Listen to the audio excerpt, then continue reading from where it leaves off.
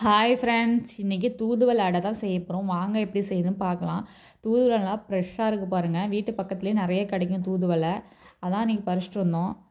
இது மருத்துவ குணம் நிறைய இருக்குது இந்த தூதுவலையில் இருமல் சளி இதெல்லாம் குணப்படுத்தக்கூடியது தூதுவலை இது கிடைச்சா ஒரு டைம் செஞ்சு சாப்பிட்டு பாருங்கள் எவ்வளோ டேஸ்ட்டாக இருக்குன்னு ரசம் துவையல் மாதிரிலாம் செஞ்சு சாப்பிட்லாம். இது தூதுவளை பறிக்க போகும்போது அரிசி அரைக்க பூர் வச்சுட்டு போயிருந்தோம். அதெல்லாம் சேர்த்து அரைச்சிக்கலாம். இலையில நல்லா வாஷ் பண்ணி எடுத்துக்கிட்டு அரிசி மிளகு ஜீரகம் உப்பு தூதுவளைலாம் சேர்த்து அரைச்சிக்கலாம். தண்ணி ஊற்றாமல் அரைக்கணும். அப்போ தான் நல்லா அந்த அடை பக்குவத்துக்கு வரும் நல்லா. இந்த அளவுக்கு வரும் பாருங்கள் சின்ன சின்ன உருண்டையாக உருட்டிக்கலாம். உருட்டி தோசைக்கல்லில் நல்லா ஹீட் ஆனதுக்கப்புறம் ரவுண்ட் ஷேப்பாக தட்டி எடுத்துக்கலாம்.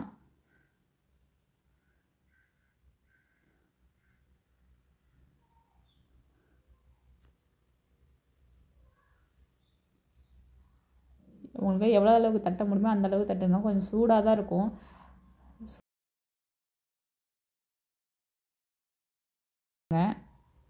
நல்லெண்ணெய் சேர்த்துங்க. நல்லெண்ணெய் தான் உடம்புக்கு ரொம்ப நல்லது.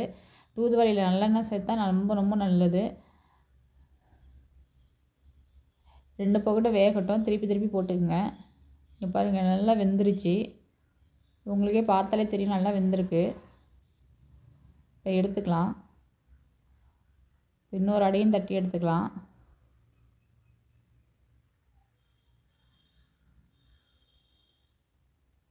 கை ரொம்ப சூடாக தான் இருந்துச்சு. அந்த தட்ட முடியல. கொஞ்சம் தண்ணி லைட்டாக தொட்டு தொட்டு தான் லைட்டாக தட்டினேன்.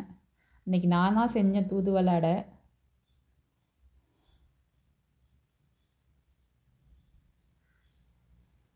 எண்ணெய் சேர்த்துக்குங்க.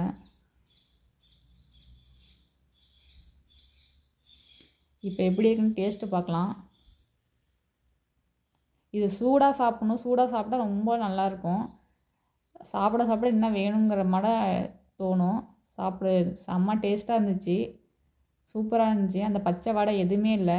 நல்லா இருந்துச்சு டேஸ்ட்டு நீங்களும் ஒரு டைம் ட்ரை பண்ணி பாருங்கள் தூதுவல்ல கிடச்சிச்சின்னா.